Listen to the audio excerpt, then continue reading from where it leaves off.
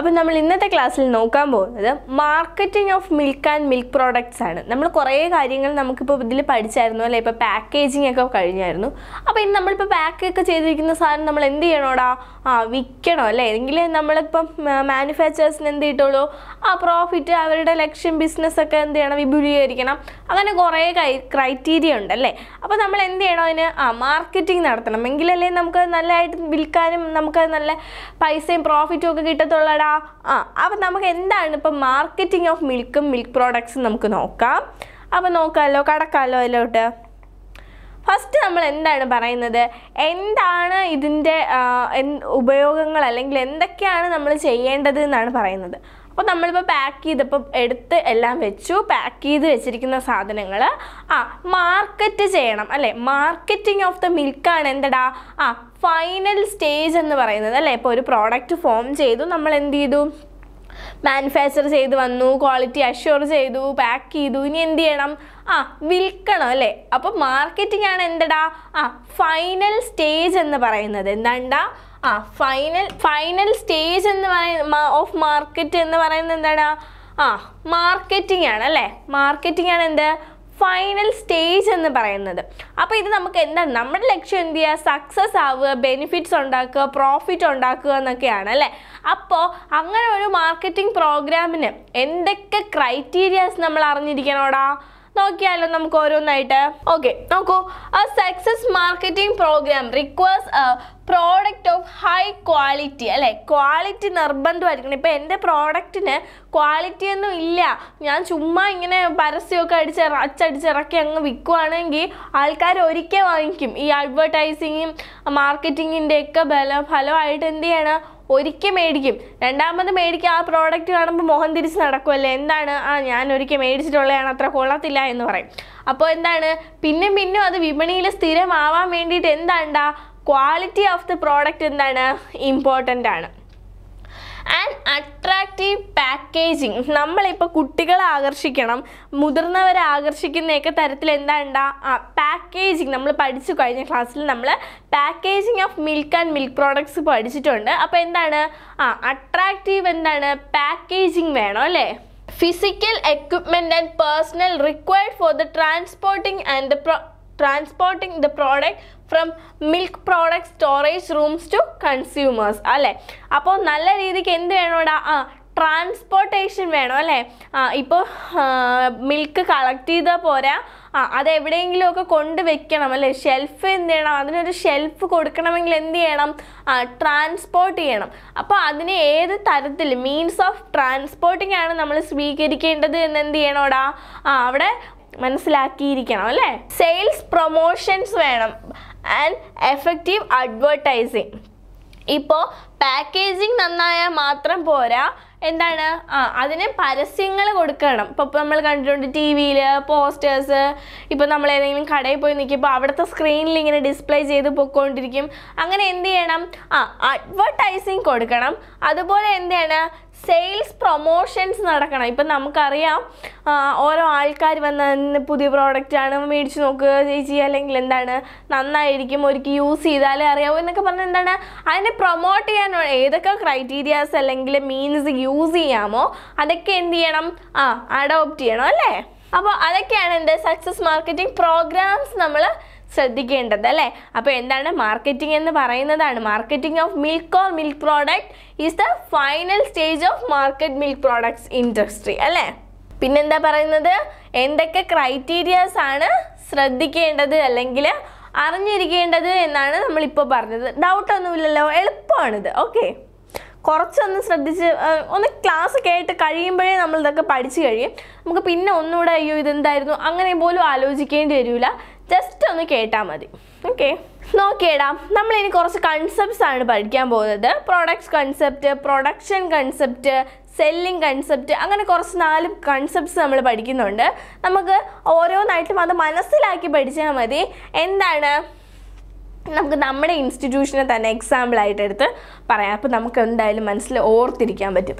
നോക്കിയേടാ according to this concept consumers will choose those products which are relatively cheap and available at all places.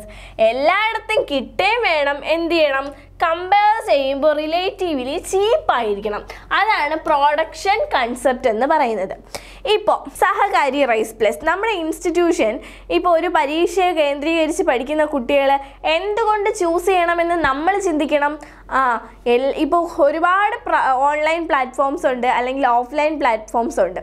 അപ്പോൾ അങ്ങനെ വരുമ്പോൾ കുട്ടികൾക്ക് ബാക്കി compare ചെയ്യുമ്പോൾ എന്താണ്? ആ റിലേറ്റീവ്ലി പൈസ കുറഞ്ഞ നിരക്കിൽ എന്ത് ചെയ്യണം? ആ കോഴ്സസ് നമ്മൾ പ്രൊവൈഡ് ചെയ്യണം. പിന്നെ നമ്മൾ എന്ത് ചെയ്യണം?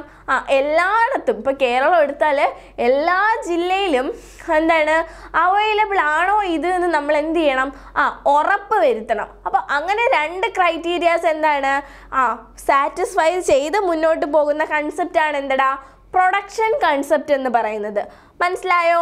The business organisation adopting this concept produces product on the mass scale and aim to produce product as low cost with higher production efficiency ഇപ്പം നമ്മൾ ഇങ്ങനെ കുറഞ്ഞ നിരക്കിൽ പൈസയ്ക്ക് എന്താണ് ക്ലാസ്സുകൾ പ്രൊവൈഡ് ചെയ്യുന്നു എല്ലായിടത്തും പ്രൊവൈഡ് ചെയ്യുന്നു. അത് മാത്രം മതിയോ?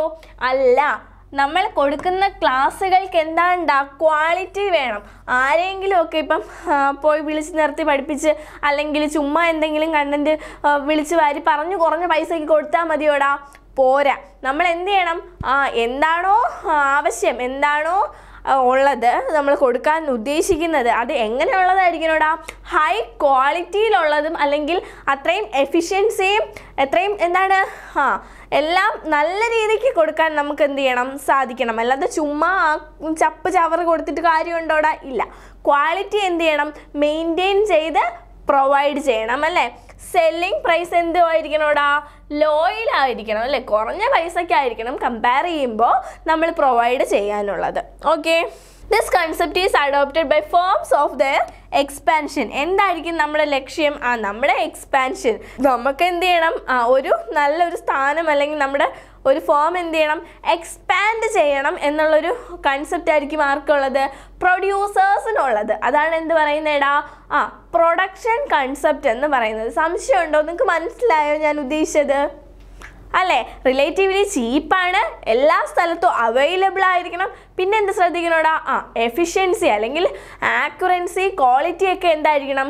നല്ലത് തന്നെ ആയിരിക്കണം അല്ലേ? പൈസ കുറവാണെന്ന് പറഞ്ഞ് എന്താണ്? ചീത്ത സാധനം അല്ല കൊടുക്കാനുള്ളത്. എന്താണ്?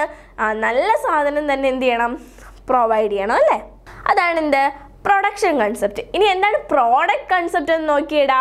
This concept is based upon the assumption that the consumers purchase is strongly affected by quality performance and features ഇവിടെ എന്ന് പറയുമ്പോൾ ഇപ്പം നമ്മൾ സഹകാരി പ്രൊവൈഡ് ചെയ്യുന്നത് എത്ര പൈസ ആയാലും കാര്യമില്ല.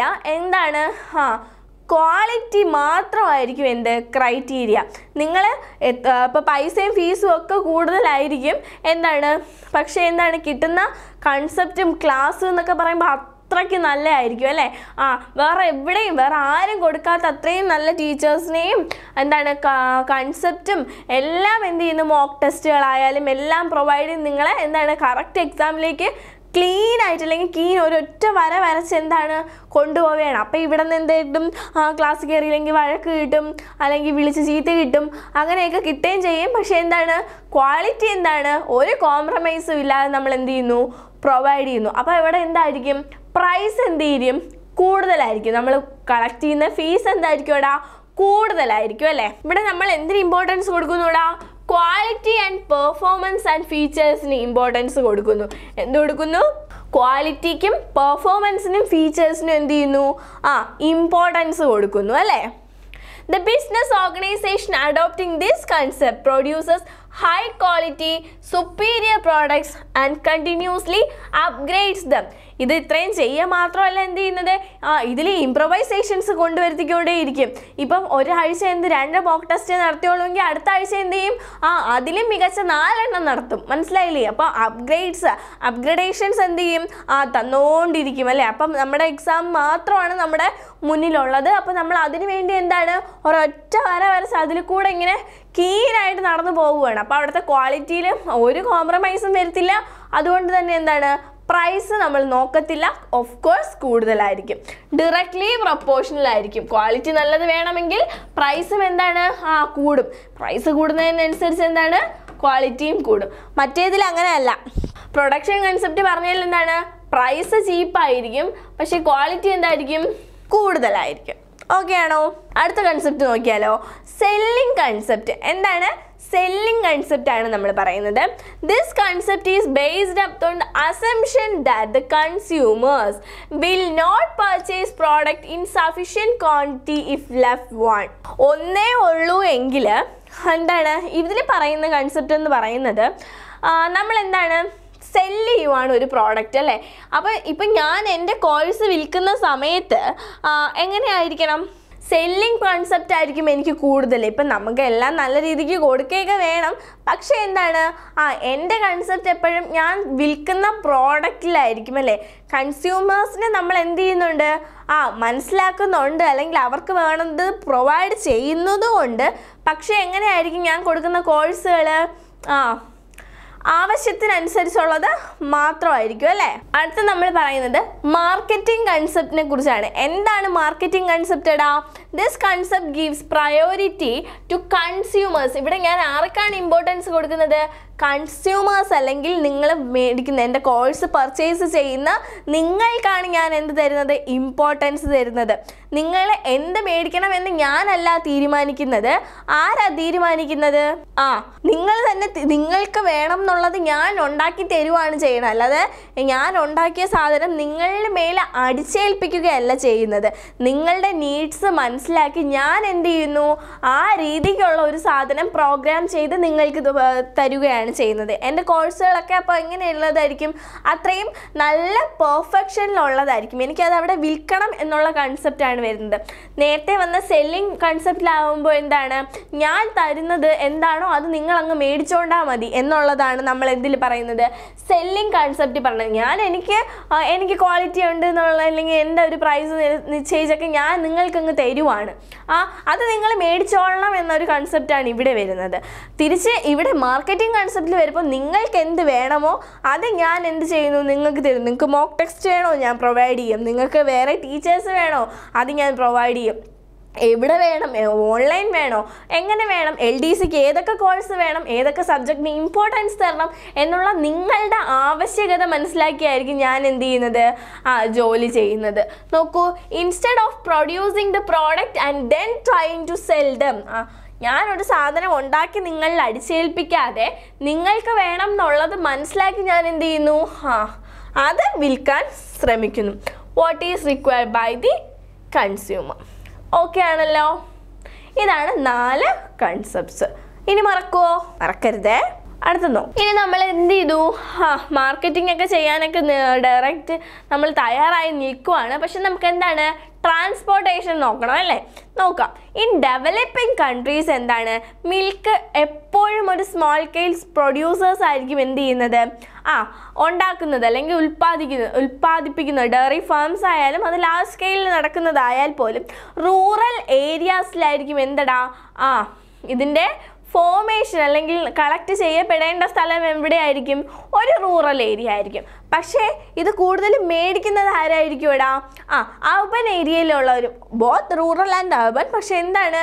ആ മാർക്കറ്റിങ്ങിന്റെ വികസനത്തിന് വേണ്ടി ഇതെന്ത് ചെയ്യേണ്ടി വരും വരുമടാ? ആ റൂറൽ ഏരിയയിൽ നിന്നും അർബൻ ഏരിയയിലേക്ക് എന്ത് ചെയ്യേണ്ടി വരും? ആ കൊണ്ടുപോവേണ്ടി വരും അല്ലേ?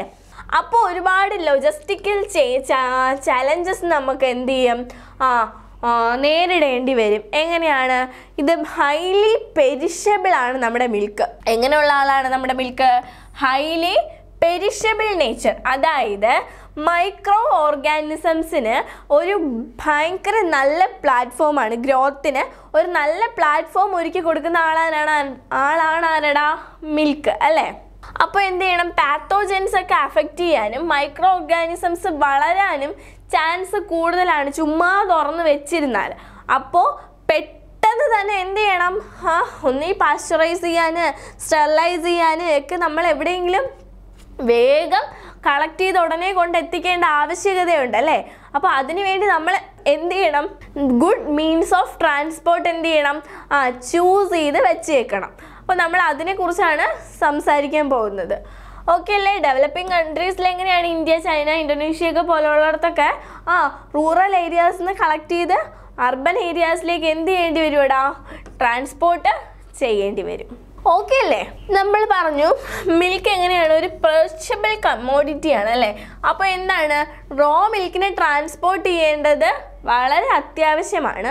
അപ്പോൾ ഇങ്ങനെ ട്രാൻസ്പോർട്ട് ചെയ്യുന്നത് within four hours of production എന്നാണ് നമുക്ക് അനുവദിച്ചിരിക്കുന്ന ടൈം ലിമിറ്റ് കളക്ട് ചെയ്ത് എത്രയാണ്ട? നാല് മണിക്കൂറിനുള്ളിൽ എവിടെ പ്രൊഡക്ഷൻ ഹൗസിൽ അല്ലെങ്കിൽ എന്താണോ അതിനെ കൊണ്ട് കൺവേർട്ട് ചെയ്യേണ്ടത്. ആ ഒരു പ്ലാറ്റ്ഫോം ഫോം പ്ലാന്റിലേക്ക് എവിടെ എത്തിയിരിക്കണം? വിത്തിൻ ഫോർ അവേഴ്സ് എന്ത് ചെയ്യണം? ഈ മിൽക്ക് എത്തിയിരിക്കണം. ഓക്കെ ആണല്ലോ? മറക്കരുത്. നാല് മണിക്കൂർ.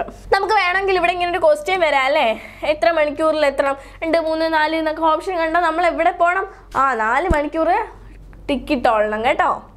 കറുപ്പിച്ചോളണം. അ- അതുകൊണ്ട് തന്നെ ഒരു ഇന്റഗ്രൽ പാർട്ടായിട്ട് എന്ത് ചെയ്യുന്നു? മിൽക്ക് കളക്ഷനിൽ ട്രാൻസ്പോർട്ടേഷൻ ഉണ്ട് കേട്ടോ. ബട്ട് അത്രയും ഇമ്പോർട്ടന്റ് ആണ്. നാല് മണിക്കൂറിനൊക്കെ ശേഷം ചെന്നാൽ പാത്തോജൻസ് വളർന്ന് നശിച്ച് ചീത്തയായ പാലേ നമുക്ക് കിട്ടത്തുള്ളൂ. Okay and efficient and suitable is se- selected on the basis of the raw milk collection as well as the regional requirements.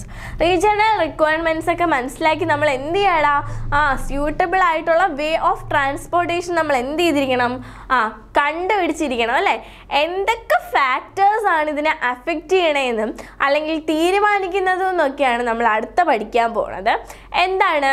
Suitable of എന്താണ്? Selection efficiency economic transportation system എന്താണ്? അറിഞ്ഞിരിക്കണം നമ്മൾ അല്ലേ? നമുക്കിപ്പോൾ കൊണ്ടുപോകുമ്പോൾ നമ്മൾ ചുമ്മാ ഒരു വണ്ടി കയറ്റി നമുക്ക് കൊണ്ടുപോകാൻ പറ്റുമോ ഇല്ല. അതിന് സ്യൂട്ടബിൾ ആയിട്ടുള്ള കണ്ടെയ്നേഴ്സ് വേണം. ആ കണ്ടെയ്നേഴ്സിന് കുറേ സ്പെഷ്യലൈസേഷൻസ് ഉണ്ട്. അത് നോക്കണം. ഇനി മീൻസ് ഓഫ് ട്രാൻസ്പോർട്ട് ഏതാണെന്ന് ചൂസ് ചെയ്യണം. ഏതൊക്കെ കണ്ടീഷൻസിൽ ഏതൊക്കെ വണ്ടിയാണ് എടുക്കേണ്ടതെന്ന് അറിഞ്ഞിരിക്കണം. അങ്ങനെ കുറേ കാര്യങ്ങളുണ്ട്. ശ്രദ്ധിക്കുക. ജോഗ്രഫിക്കൽ ലൊക്കേഷൻ എന്ന് പറയുമ്പോൾ ഭൂമിശാസ്ത്രപരമായിട്ട് ഇപ്പോൾ ഒരു ഹില്ലി ഏരിയ ആണ്. റോഡൊന്നും ഡെവലപ്പ് ചെയ്തിട്ടില്ലാത്ത ആ ഹില്ലി ഏരിയ ആണെങ്കിൽ സ്മോൾ ക്വാണ്ടിറ്റി ഓഫ് മിൽക്കിനെ നമുക്ക് എന്താണ്? തലയിൽ ചുമന്നുകൊണ്ട് പോവാം. ആ അല്ലെങ്കിൽ എങ്ങനെയാണ്ടാ? ലോഡ് സ്ലിങ്സ് ഹെഡ് സ്ലിങ്സ് എന്ന് പറയും.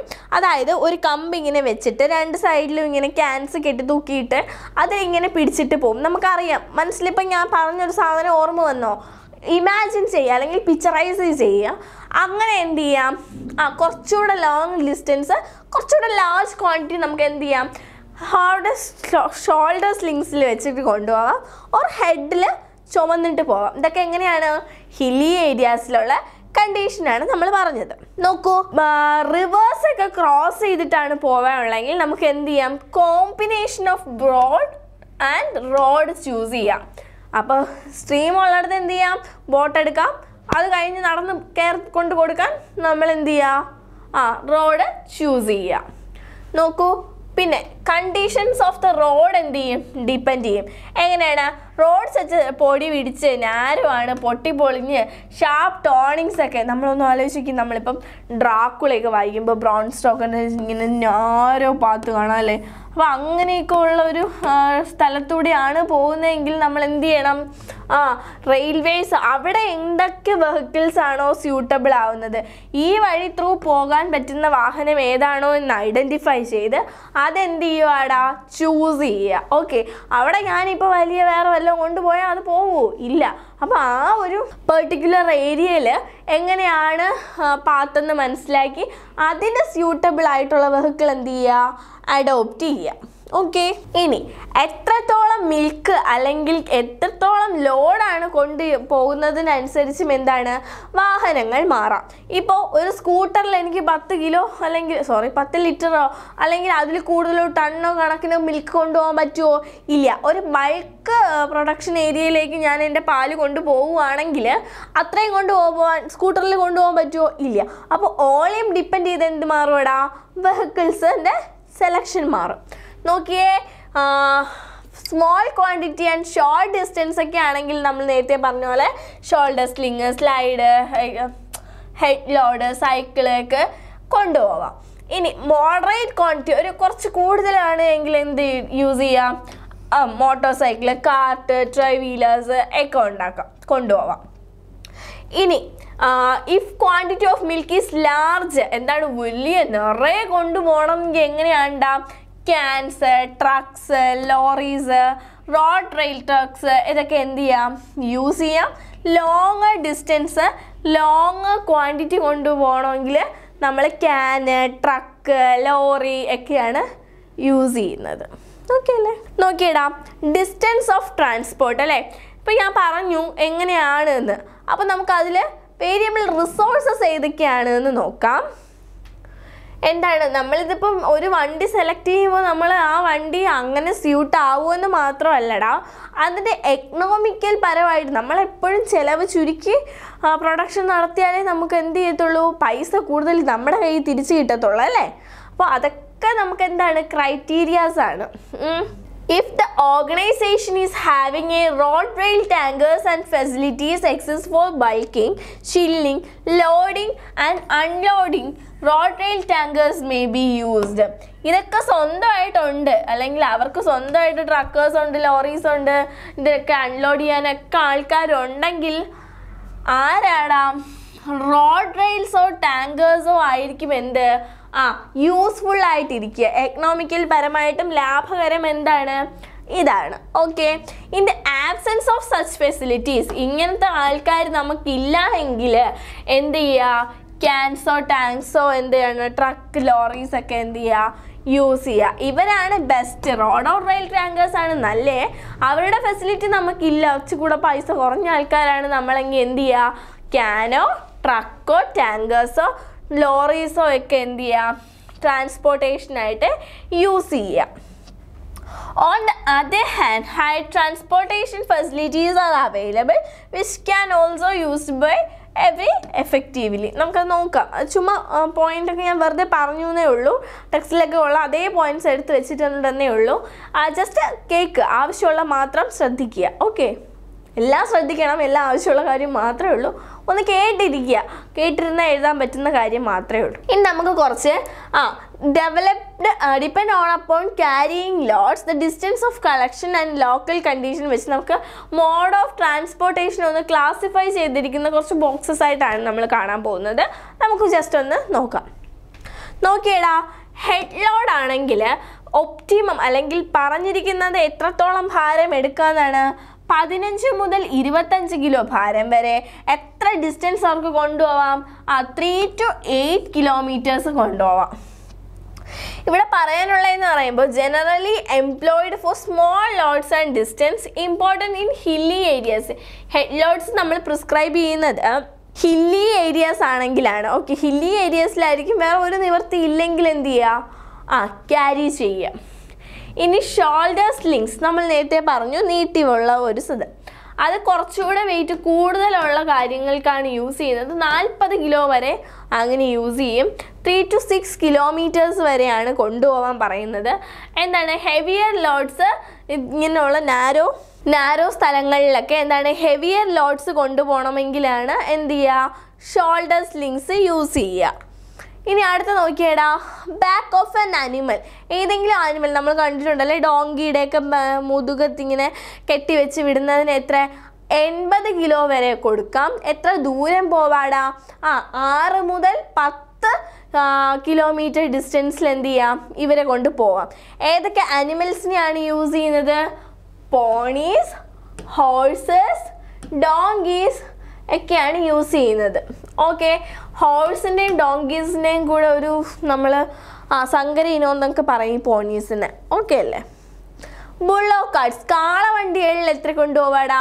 ആ മുന്നൂറ് മുതൽ നാനൂറ് കിലോ വരെ അല്ലെങ്കിൽ ലിറ്റർ കണക്കാണ് നമ്മുടെ മിൽക്ക് ആയതുകൊണ്ട് ഓക്കെ വെയിറ്റ് ഇൻ കിലോഗ്രാംസിൽ നമ്മൾ പറയുന്നതേ ഉള്ളൂ ഓക്കെ കൊണ്ടുപോകാൻ പറ്റും. എത്ര ഡിസ്റ്റൻസ് ടെൻ ടു ട്വൽവ് എത്രയാണ്ടാ?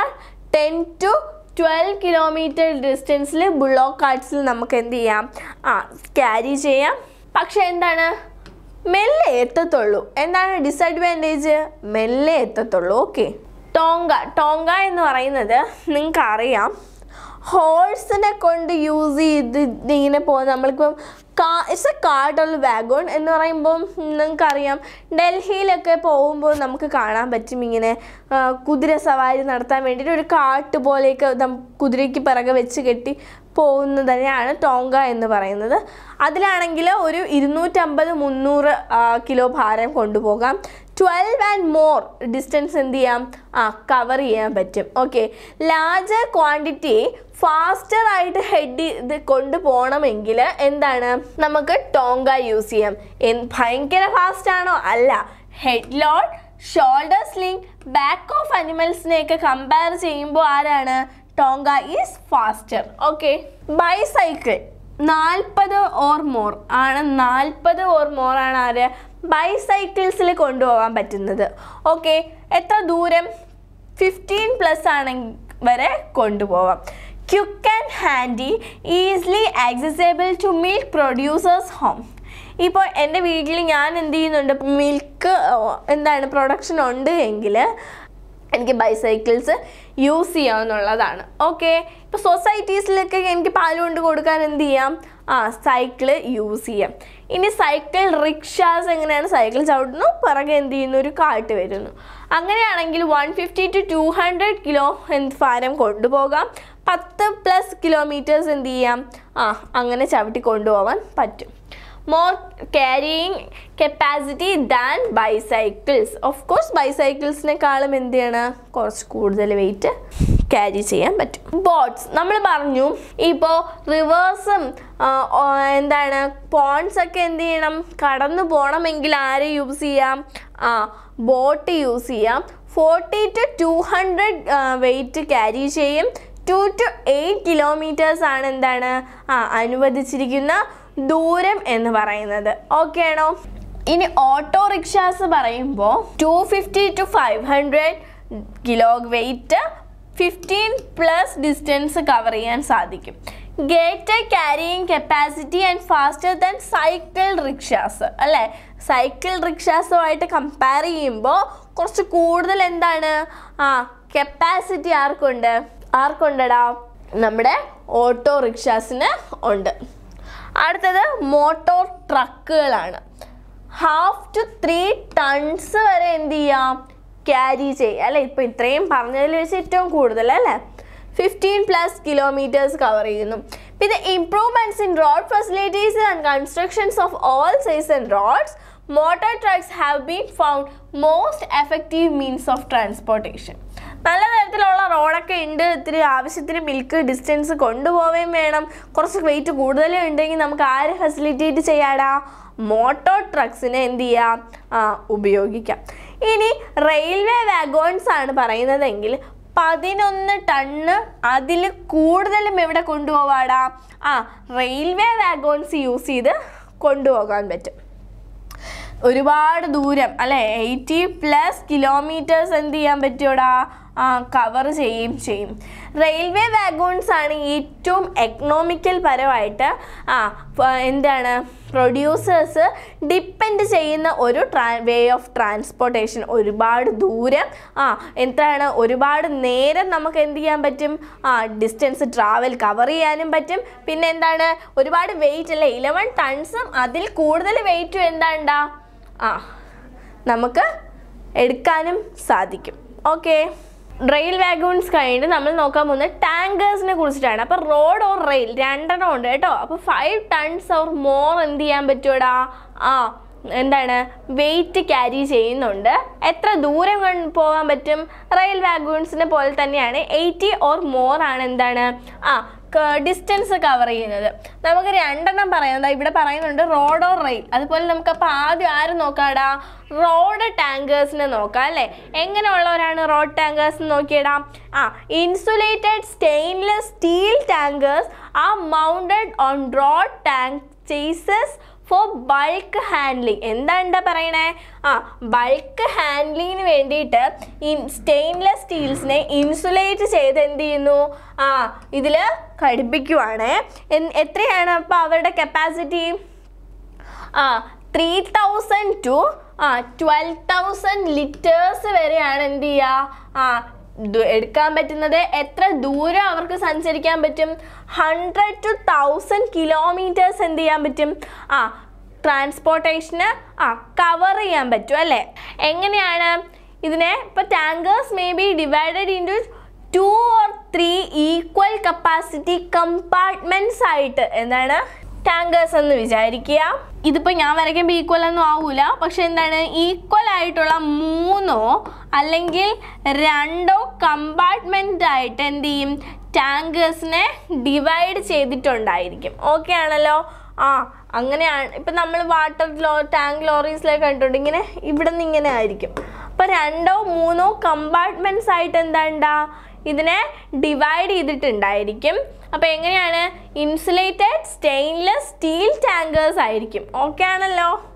ഇനി ഇതേ ആൾക്കാർ ഇനി താഴെ റെയിലിലോട്ട് എത്തുവാണെങ്കിൽ ഇൻസുലേറ്റഡ് ഓ റെഫ്രിജറേറ്റഡ് ആയിരിക്കും. സ്റ്റെയിൻലെസ് സ്റ്റീൽസ് ആയിരിക്കും.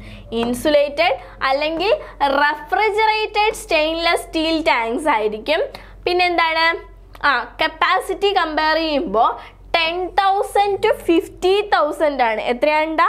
Ten thousand to fifty thousand ആണ് ലിറ്റേഴ്സ് ഇനി നമ്മുടെ റോഡിലാണെങ്കിൽ എത്രയേ കൊണ്ടുപോകത്തുള്ളൂ? മൂവായിരം ടു പന്ത്രണ്ടായിരം ആയിരുന്നു എങ്കിൽ ഇവരുടെ കപ്പാസിറ്റി സ്റ്റാർട്ട് ചെയ്യുന്നതേ ഇതിന് ബിറ്റ്വീനിലുള്ള ten thousand to fifty thousand ആണ്. ഓക്കെ ലോങ് ഡിസ്റ്റൻസ് ഒരുപാട് ദൂരം എന്ത് ചെയ്യാൻ പറ്റുമോടാ ആ കൊണ്ടുപോകാൻ പറ്റും. എക്കണോമിക് പരമായിട്ട് നമുക്ക് എന്തെങ്കിലും ബെനിഫിറ്റ് വേണം. അപ്പം നമ്മൾ അത് ബേസ് ചെയ്ത് മാത്രമേ എന്ത് ചെയ്യാൻ പറ്റുള്ളൂ? മോഡ് ഓഫ് ട്രാൻസ്പോർട്ട് ചൂസ് ചെയ്യാൻ പറ്റുള്ളൂ എന്ന് ഞാൻ പറഞ്ഞു. ഇനി cost of transportation should be എന്തായിരിക്കണം മിനിമം ആയിരിക്കണം അല്ലേ? ഞാൻ പറഞ്ഞതുപോലെ എന്തായിരിക്കണം? മിനിമം ആയിരിക്കണം. Selecting suitable transport of optimum size okay capacity of tanking എങ്ങനെയായിരിക്കണം ക്വാളിറ്റി ഓഫ് മിൽക്ക് ട്രാൻസ്പോർട്ട് ചെയ്യണതിന് ബേസ് ചെയ്തായിരിക്കണം എന്തായിരിക്കണം? കപ്പാസിറ്റി ചൂസ് ചെയ്യാനുള്ളത്. Okay type of vehicle available road condition time involvement ഒക്കെ നമ്മുടെ മനസ്സിൽ വേണം.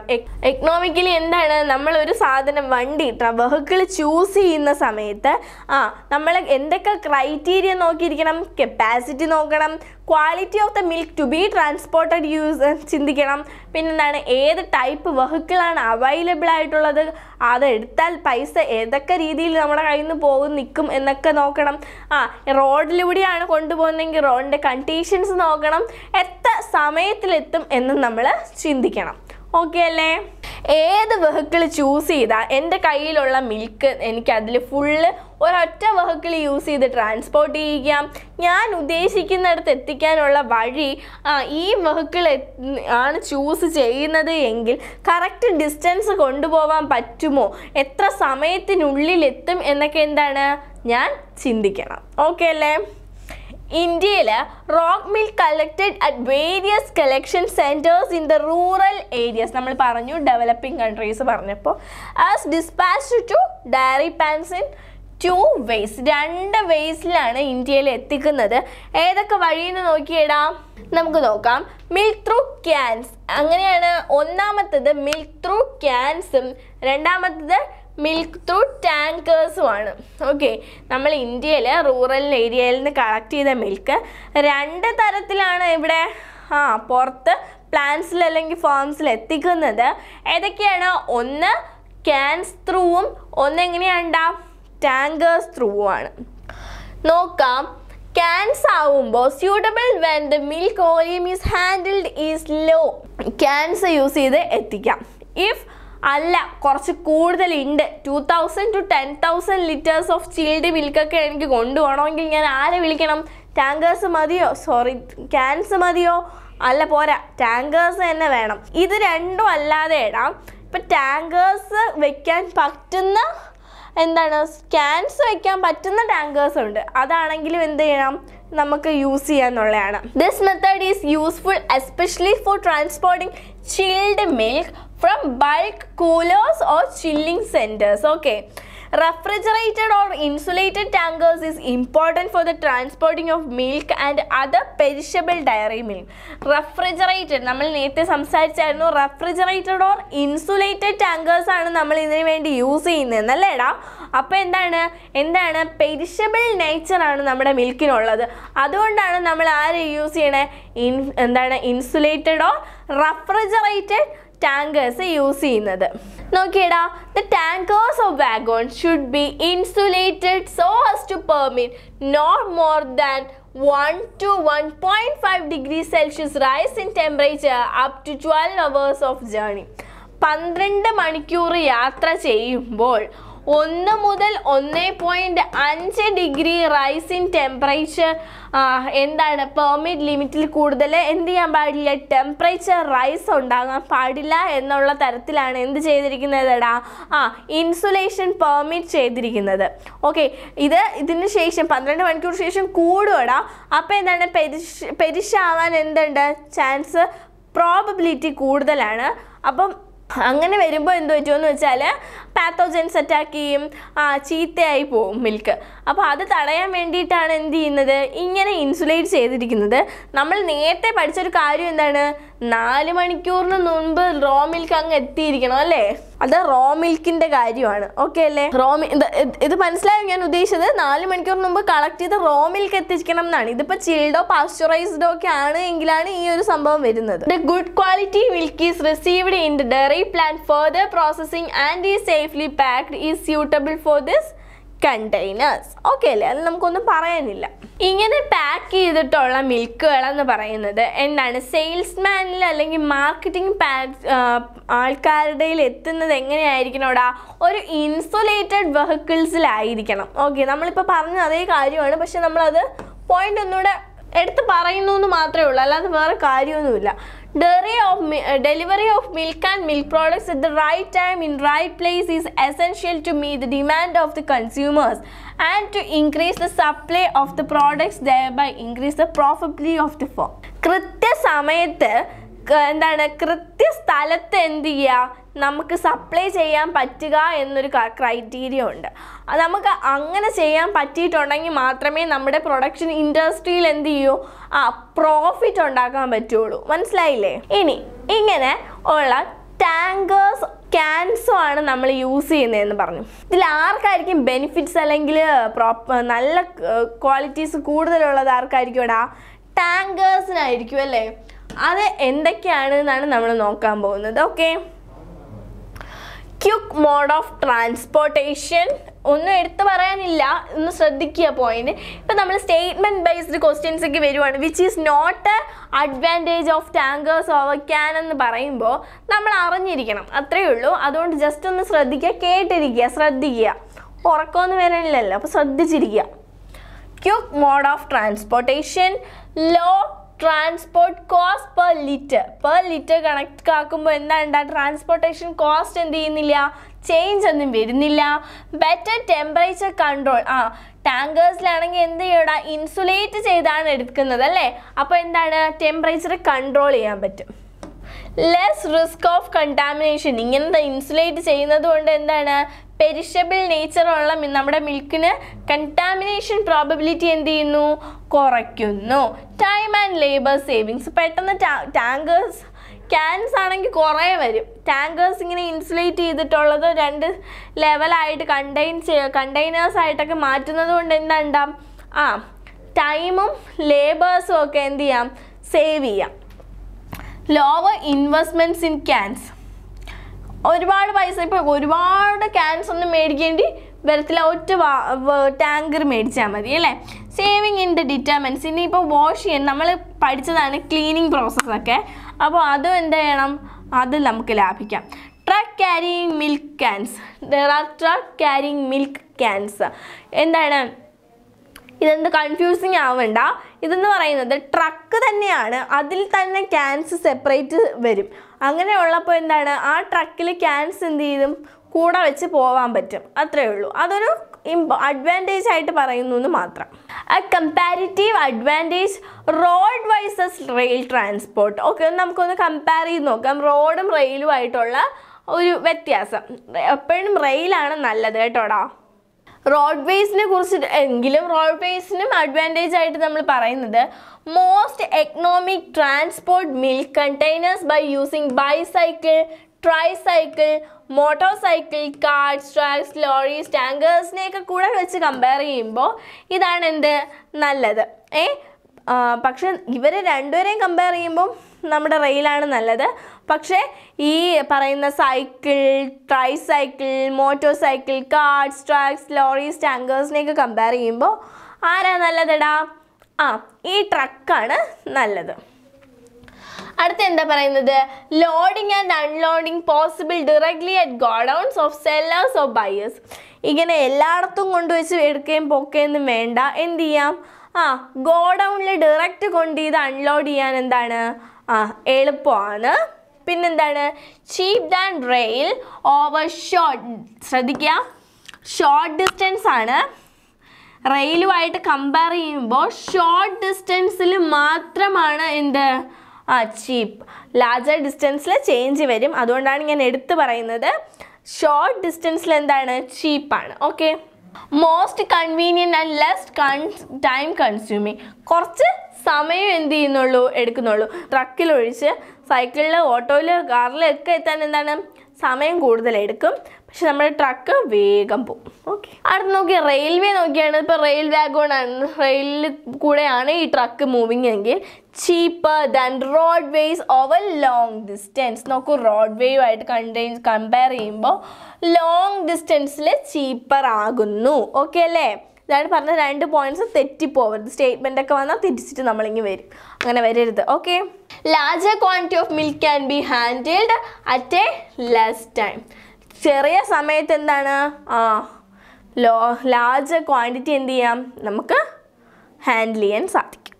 Analysis of consumer demand and acceptance ഒരു മാർക്കറ്റ് സർവേ നോക്കുമ്പോൾ demand of forecasting and sales forecasting are important for any market planning and control as it serves the basics for the comparisons over a period of time വായിച്ചിട്ടൊന്നും മനസ്സിലാവില്ല അല്ലേ?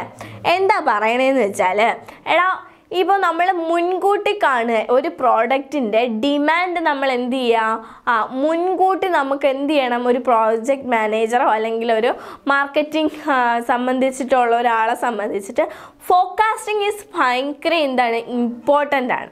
ഒടി mean by forecasting ഒരു മുൻകാഴ്ച അല്ലെങ്കിൽ ഒരു ദീർഘദൃഷ്ടി എന്നൊക്കെ പറയുന്നത് പോലെയാണ് അല്ലേ? അപ്പോൾ ആൾക്ക് എന്താ വേണ്ടത്? കൺസ്യൂമേഴ്സ് എന്തായിരിക്കും വേണ്ടത് എന്ന് നമ്മൾ എന്ത് ചെയ്യണം? പീരീഡിനനുസരിച്ച് എന്ത് ചെയ്യണം? ഫോക്കാസ്റ്റ് ചെയ്തിരിക്കണം. നമ്മൾ വീണ്ടും സഹകാരിയിലേക്ക് എത്തുന്നു. അപ്പോൾ എങ്ങനെയാടാ? ഞാനൊരു കോഴ്സ് കൊടുക്കുമ്പോൾ ആ എപ്പോൾ കൊടുക്കണം? നമ്മൾക്ക് ആവശ്യമുള്ളത് അല്ലെങ്കിൽ അതിന്റെ പീക്ക് ലെവലിൽ കുട്ടികൾക്ക് ആവശ്യമുള്ള സമയത്ത് കൊടുക്കണം അല്ലേ? എങ്ങനെ കൊടുക്കണം? ആ അവർക്ക് എന്താണോ ആവശ്യമുള്ള രീതിക്ക് കൊടുക്കണം. നോക്കൂ forecasting helps in identifying and solving marketing and sales problems എനിക്ക് അങ്ങനെ ഒരു ദീർഘദൃഷ്ടി ഉണ്ട് എങ്കിൽ എന്ത് ചെയ്യാം? നമുക്ക് പ്രശ്നങ്ങൾ കണ്ടുപിടിച്ച് അത് സോൾവ് ചെയ്യാൻ സാധിക്കും അല്ലേ? ഡിമാൻഡ് ഫോക്കാസ്റ്റിംഗ് എന്താണ്? ആ എന്താണോ ഡിമാൻഡിനനുസരിച്ച് എന്ത് ചെയ്യണം? ആ ഒരു കാഴ്ച ഞാൻ എനിക്കുണ്ടെങ്കിൽ എന്താണ്?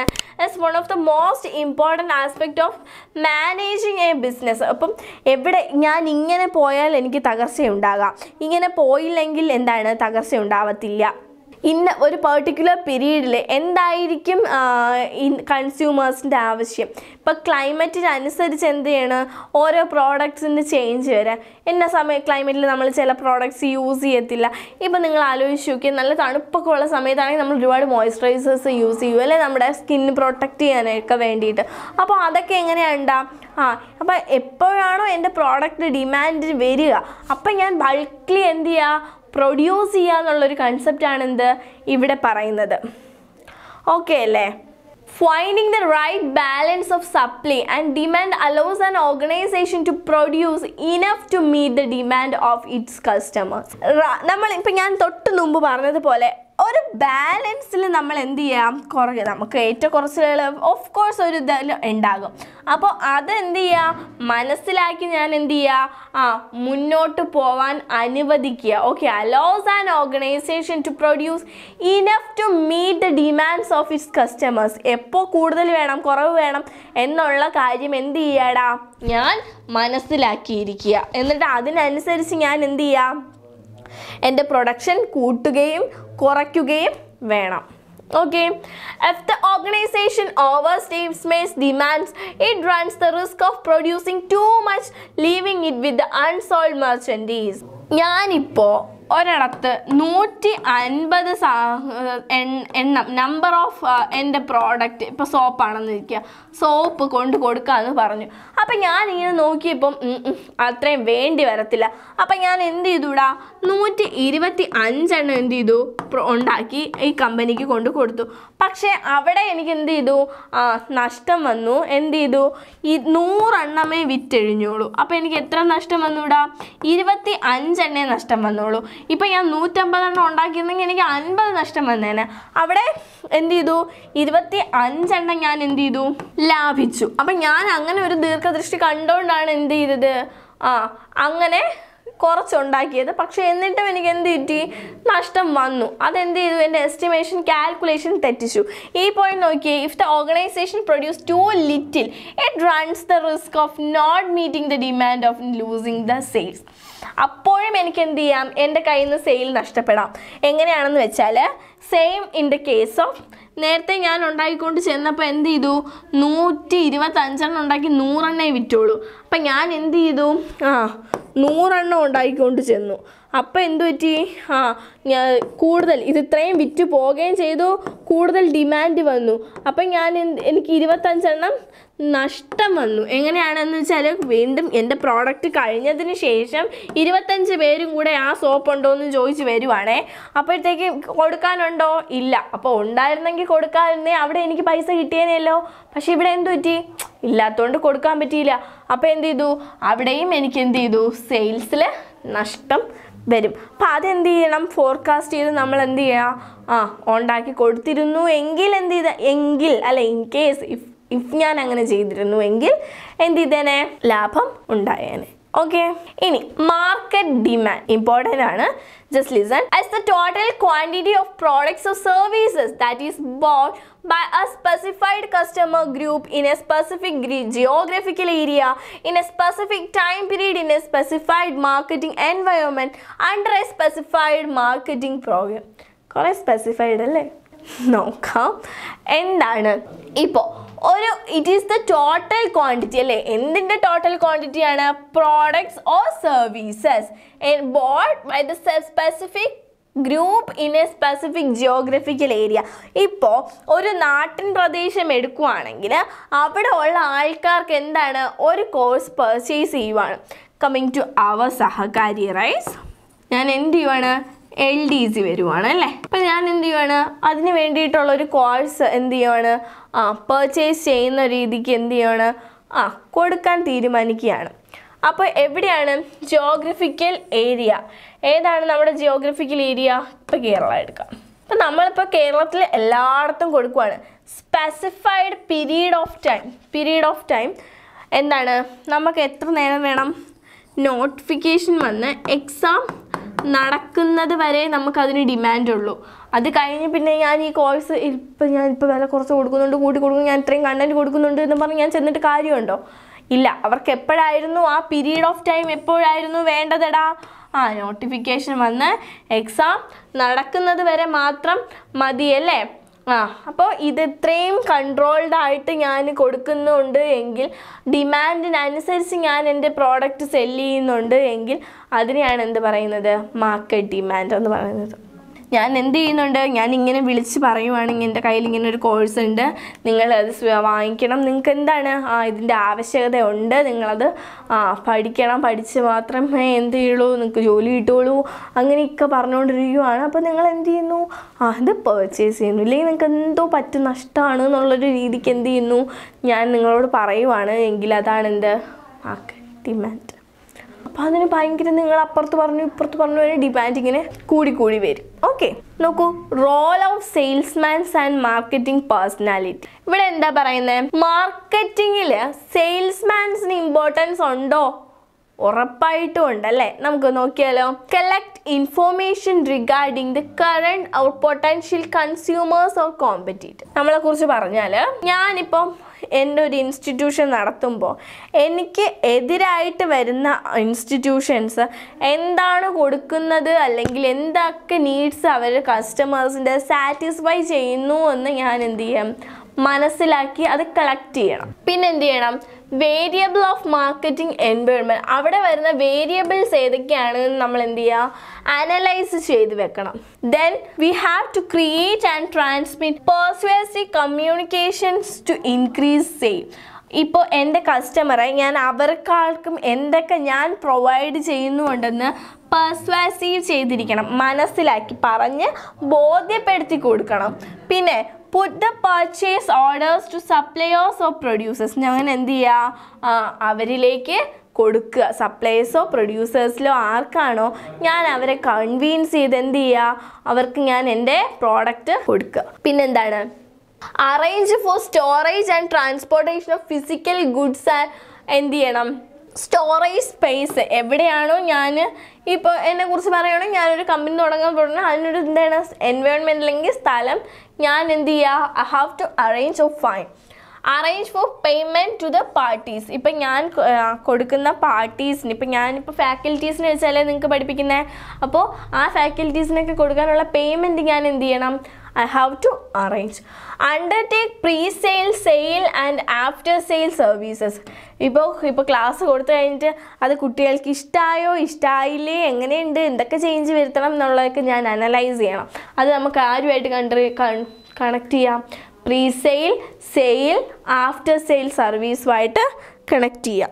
Helps in the sale promotions ഞാൻ എന്ത് ചെയ്യാം? അതുമാത്രം പരസ്യം കൊടുക്കുക. ഇപ്പം നമ്മൾ എന്താണ് ചെയ്യുന്നത്? ഇപ്പം നമുക്ക് കിട്ടിയ ഫസ്റ്റ് റാങ്ക് ഹോൾഡേഴ്സിനെയൊക്കെ വെച്ച് ഇന്റർവ്യൂ ചെയ്ത് ഇതാണ് നമുക്ക് കിട്ടുന്ന എൻ പ്രോഡക്റ്റ് എന്ന് നമ്മൾ എന്ത് ചെയ്യുന്നു? അഡ്വർട്ടൈസ് ചെയ്യുന്നു. അത് കണക്കാണ് എന്ത്? Advertising keep necessary records or documents എല്ലാ ഡീറ്റെയിൽസ് പേയ്മെന്റ് റിഗാർഡഡ് സാധനങ്ങൾ റിഗാർഡഡ് എല്ലാം നമുക്ക് എന്ത് ചെയ്യണം? ഡോക്യുമെന്റ്സ് ആയിട്ട് എന്ത് ചെയ്യുക സൂക്ഷിക്കുക. Provide feedbacks markets intelligence and credit to channel members ഇപ്പം ഇപ്പം നമുക്ക് വേണ്ടി വർക്ക് ചെയ്യുന്ന നൂറുകണക്കിന് ആൾക്കാരുണ്ട് അല്ലേടാ? അപ്പം അവർക്കൊക്കെ നമ്മൾ എന്ത് ചെയ്യണം? ക്രെഡിറ്റ് അവർക്ക് ആവശ്യമാണ്. അല്ലെങ്കിൽ അവർ നല്ലത് ചെയ്തിട്ടുണ്ടെങ്കിൽ നമ്മൾ അതിന് ക്രെഡിറ്റ് കൊടുക്കുക തന്നെ വേണം. Facilities introducing for new productions in market ഇത് പോരാ. ഇപ്പം ഞാൻ ഇങ്ങനെ ഒരു ഫീൽഡ് ഓൺലൈൻ തുടങ്ങി. ഇനി എനിക്ക് ഓഫ്ലൈൻ തുടങ്ങണം. അത് എല്ലായിടത്തും തുടങ്ങണമെങ്കിൽ എന്ത് ചെയ്യണം? ആ അതിനുള്ള വഴികൾ ഞാൻ എന്ത് ചെയ്യണം? സ്വീകരിക്കണം. അപ്പോൾ ഇത്രയാണ് മാർക്കറ്റിങ്ങിനെ കുറിച്ച് നമുക്ക് ഇമ്പോർട്ടന്റ് ആയിട്ട് പറയാനുള്ളത്. നമുക്ക് കുറച്ച് ക്വസ്റ്റ്യൻസ് നോക്കാം. First question what is the final stage in the market milk or milk product industry marketing of milk and milk product ഇൻഡസ്ട്രിയെ കുറിച്ചിട്ട് എന്താണ് ഫൈനൽ സ്റ്റേജ് ഓപ്ഷൻസ് നോക്കിയേ കുട്ടികളെ. Production distribution marketing procurement procurement spelling മിസ്റ്റേക്കാണ് പ്രൊഡക്ട്മെന്റ് ആണ് ഉദ്ദേശിച്ചിരിക്കുന്നത്. എന്താണ്? അടുത്ത ക്വസ്റ്റ്യൻ നോക്കിയേ. The production concept of marketing assume consumers prefer products that are എങ്ങനെയുള്ളതായിരിക്കണം അവിടെ കൺസ്യൂമേഴ്സ് ആ ശ്രദ്ധിക്കുക. Expensive and exclusive cheap and widely available customized and unique eco friendly and sustainable എന്തായിരിക്കും നമ്മുടെ answer cheap and widely available ഇപ്പം നമ്മൾ ഒരു കാര്യം നോക്കുമ്പോൾ അല്ലെങ്കിൽ മേടിക്കുമ്പോഴാ ചീപ്പായിട്ടും വൈഡ്ലി അവൈലബിൾ ആയിട്ടുള്ളതുമാണോ നമ്മൾ നോക്കും അല്ലേ? അല്ല ഇപ്പം എനിക്ക് പൈസ കുറവില്ല ഭയങ്കര വില എല്ലായിടത്തും കിട്ടിയെന്നില്ലെങ്കിൽ ചിലപ്പോൾ അതിന്റെ ആ നമ്മൾ മൈൻഡ് ചെയ്യാറില്ല അതങ്ങ് പോകും. ഓക്കെ അല്ലേ? നമ്മൾ ശ്രദ്ധിക്കാറില്ല ഇത് കിട്ടൂലെങ്കിൽ വേണ്ട. എന്നുള്ള കൺസെപ്റ്റിലുള്ള ആൾക്കാർ എന്ത് ചെയ്യത്തില്ലാടാ? മേടിക്കത്തില്ല. അടുത്ത ക്വസ്റ്റ്യൻ നോക്കിയേ. According to the production concept എന്ത് കൺസെപ്റ്റ് ആണ്? Production concept word of business focus on to keep prices low prices low ആയിട്ടിരിക്കാൻ വേണ്ടിയിട്ട് എന്താണ് ചെയ്യുന്നത് എന്നാണ് നോക്കുന്നത്. Options നോക്കിയിടാം. Low production efficiency high production efficiency and mass production limited distribution channels high marketing expenses എന്താണ്? എന്താണ് നമ്മുടെ answer high production efficiency and mass production അല്ലേ? High production efficiency and mass production അടുത്ത ക്വസ്റ്റ്യൻ നോക്കിയാലോ. What just the selling concept ഇവിടെ എന്താണ് നമ്മൾ പറയുന്നത് selling concept in marketing focuses on നമ്മൾ നേരത്തെ പഠിച്ചപ്പോഴേ പറഞ്ഞു സേ കൺസെപ്റ്റ്സ് നാലും ഇമ്പോർട്ടന്റ് ആയിട്ട് അറിഞ്ഞിരിക്കുക. Creating products based on consumers feedback ensuring products are available in all markets encouraging consumers to purchase through aggressive sales techniques. Focusing solely on the product quality എന്താണ് selling concept എനിക്ക് എന്റെ product വിൽക്കണം അല്ലേ? നാല് option തന്നിട്ടുണ്ട്. എന്താണ്? എനിക്ക് എന്റെ product വിൽക്കണം. അത് നിങ്ങൾക്ക് ആവശ്യമുണ്ടോ ഇല്ലയെന്നൊന്നും എനിക്കറിയണ്ട ഞാൻ നിങ്ങളിൽ എന്ത് ചെയ്തിരിക്കും? ആ അടിച്ചേൽപ്പിച്ചിരിക്കും നിങ്ങൾ എന്ത് ചെയ്യണം? അത് മേടിച്ചിട്ടേ പോവാവൂ ഇല്ലെങ്കിൽ നിങ്ങൾക്ക് എന്തോ നഷ്ടമുണ്ട്. ഇല്ലെങ്കിൽ നിങ്ങൾക്ക് എന്തോ അയ്യോ എന്തോ കുറവുണ്ട് എന്നൊക്കെ പറഞ്ഞ് അടിച്ചേൽപ്പിക്കുന്ന പരിപാടിയാണ് എന്തടാ? സെല്ലിങ് കൺസെപ്റ്റ് അല്ലേ? അപ്പം നമ്മുടെ ആൻസർ ഇതിൽ ഏതാ വരിക? Encouraging consumers to purchase through aggressive sales techniques and concept അല്ലേ? ഓക്കെ ആണോ? അടുത്ത ക്വസ്റ്റ്യൻ നോക്കൂ. ദ മാർക്കറ്റിംഗ് കൺസെപ്റ്റ് പ്രയോസൈസ് അടുത്ത എന്താണ്? മാർക്കറ്റിംഗ് കൺസെപ്റ്റ് എന്താണ്? A product inversion B consumers needs C cost cutting D global expansion ഏതാണ് എന്നുള്ളതാണ് നമ്മുടെ ചോദ്യം. ഏതാണ്? കൺസ്യൂമേഴ്സ് നീഡ് അല്ലേടാ കൺസ്യൂമേഴ്സ് നീഡ് അനുസരിച്ചാണ് എന്ത്? ആ മാർക്കറ്റിംഗ് കൺസെപ്റ്റ് പ്രയോറിറ്റൈസ് ചെയ്യുന്നത്. അടുത്ത ക്വസ്റ്റ്യൻ നോക്കൂ. What is the major challenge in the collection and transportation of milk in developing countries developing കൺട്രീസിനെ സംബന്ധിച്ചിട്ടുള്ള മേജർ ചാലഞ്ച് ഏതാണ് എന്നാണ് ചോദിക്കുന്നത്. എന്തിനെ കുറിച്ച്? In collection and transporting of milk ഏതാടാ? The long shelf life of milk, the highly perishable nature of milk, oversupply of milk, lack of consumer demand. നോക്കിയടാ എല്ലാം ഒരു നമുക്ക് എന്താണ് ഒരേപോലെ അർത്ഥം വരുന്നതായിട്ടൊക്കെ നമുക്ക് എന്ത് ചെയ്യും തോന്നും പക്ഷെ ഏതാടാ നമ്മുടെ ആൻസർ ബി ആണ് നമ്മുടെ ആൻസർ അടുത്ത ക്വസ്റ്റ്യൻ നോക്കാം In the milk industry, what is the recommended maximum time? Recommended maximum time for transporting fresh milk to processing plants നമ്മൾ പറഞ്ഞതാണ്. എത്രയാണ്? ഫോർ അവേഴ്സ് അല്ലേ? ട്വൽവ് അല്ല വൺ അല്ല എയ്റ്റ് അല്ല എത്രയാണ്? നോക്കൂ.